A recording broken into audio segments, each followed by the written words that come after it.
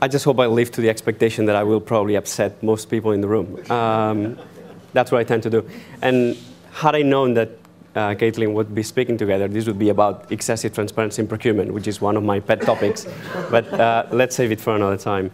Um, the topic today is about new ideas that um, either the new directives are bringing forward or the new practice is consolidating and try and see whether they are such good ideas in the end, whether they are really conducive to innovation, or whether, because of wanting to do too much of a good thing, we're going to end up entrenching the current competitive situation.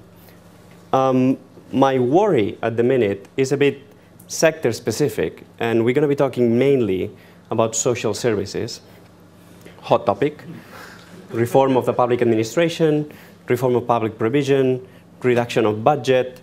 And I know I'm talking in Wales, and unfortunately, the only very bits I know about the UK are England related. So apologies from the beginning if anything I say is not applicable. But the idea in the last 10 minutes is to just look at provisions in Article 74 to 77 in the new General Directive, which basically create a special regime that substitutes the old Part B services for most of the social services. Try to see what I think is a risk for the creation of local monopolies, not only now, but for the next 10, 20, 30 years, and to try and see which are the negative potential implications that I identify in these provisions based on innovation. So after very lengthy discussion, and after the European Commission proposed new directives in basically November, December 2011, we come up with a new rebranded philosophy for this type of services. Basically, any contracts below what should be the equivalent of 630,000 pounds are in theory unregulated. But we'll see what the Court of Justice has to say about that. Uh, I'm sure they will keep pushing for transparency non-discrimination.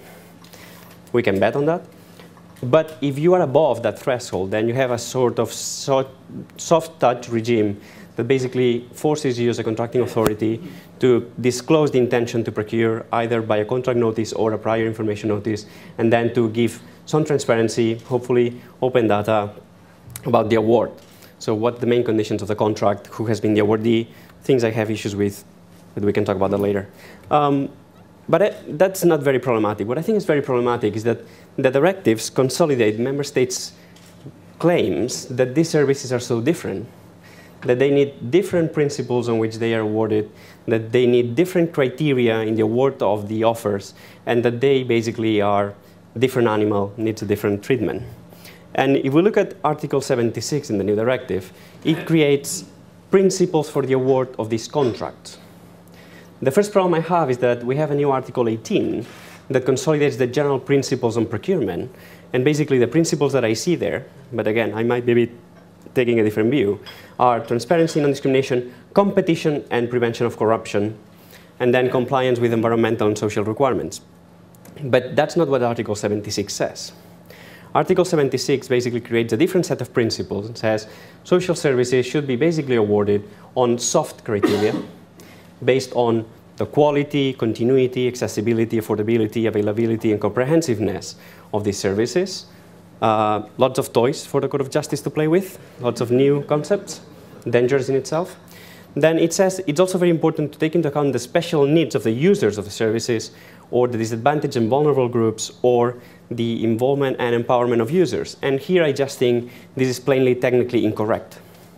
This is not something you should be taking into account when you are awarding the contract.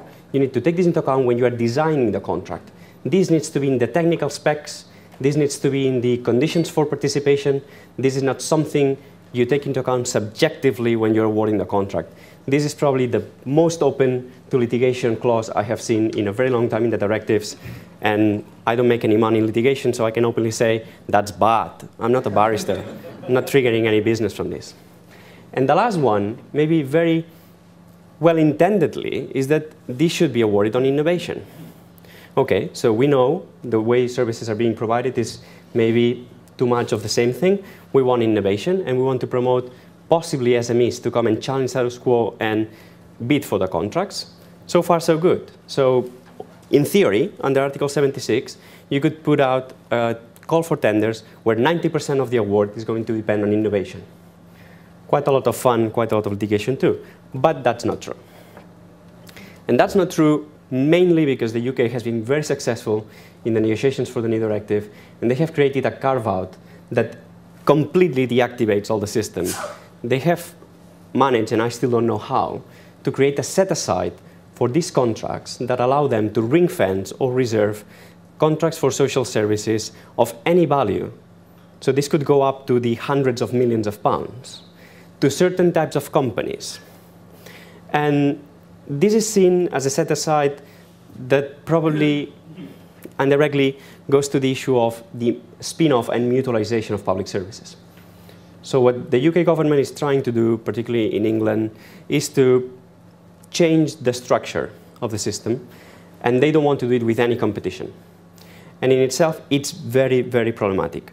Why I think it's problematic? Because they will tender these contracts, unlimited in value, up to three years, to companies that in theory comply some requirements that should maybe indicate they are third sector companies or mutuals.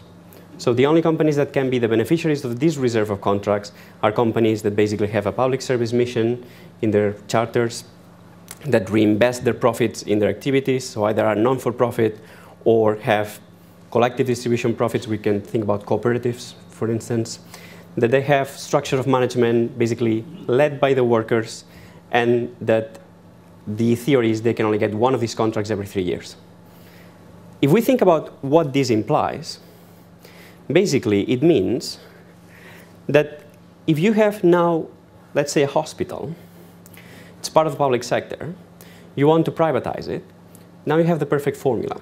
You get the workers to create a mutual, you transfer for one pound all the assets and liabilities of the hospital to the workers, you create a call for tenders and the provision of health services in the region for the next three years for 100 million pounds, and you say only hospitals already present in the region that comply with this can participate, legal. You give the contract to a hospital for three years. Who's going to be challenging this in three years? You have just committed the perfect crime. You have created a local private monopoly in what used to be the public sector. If you do this across the public sector, this completely destroys any potential cross-border competition for any social service, even interregional competition for social services. It's going to be very easy to split the market on the basis of I don't enter your region, you don't enter my region. And I think it's very, very problematic. I think, obviously, this is not conducive to innovation. This is just entrenching the guys that are already there. I think privatization would make sense if some outsider can come and challenge the insider. This is just preventing that. And the only guys that have indicated they have some issues with this are the people at state aid control in the European Commission, which in 2012, when they approved the new package for the financing of social services of general economic interest, indicated that should these changes be in the final wording of the directives, they might want to revise their guidelines. And they're thinking about it. However, being such a hot topic with such high stakes and being stated in such a bad position itself, I'm not so sure of how far they will go. So preliminary conclusions, and I hope I will be proven wrong because otherwise this is quite worrying. Um, we will have massive litigation based on the reserve of these contracts, particularly because the criteria for the award are just too soft, too undefined. I fear that the net long-term effect is going to be not innovation prone and not competitive prone, but the contrary. And so I think that in the two years that we have to implement the rules, we need to give very careful thought to these rules. My suggestion is just don't implement Article 77. Just don't allow your authorities to reserve contracts. Otherwise, this is not going to be very productive. I hope I have upset you. Happy to take questions either now or after Pedro has spoken. Thank you. Okay. Excellent.